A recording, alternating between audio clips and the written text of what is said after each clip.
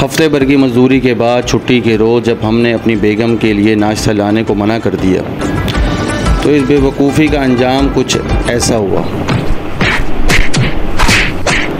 तो software update होने के बाद, झाड़ू, पोछा, धूल, मट्टी टूटी हुई सड़कें, सब की परवाह की बगैर हम अपनी शपाटर पे पहुँचे लेने के लिए।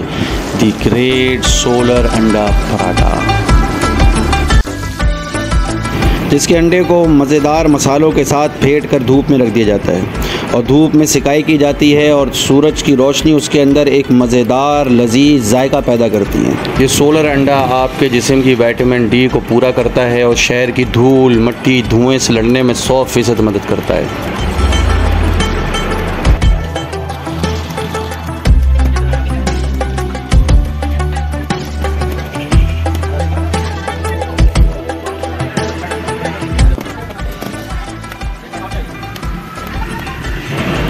धूप, छाँव और गैस पे पके हुए ये लजीज, लच्छेदार पराठे आपके हाथ में आते ही आपके पेट को भर दें।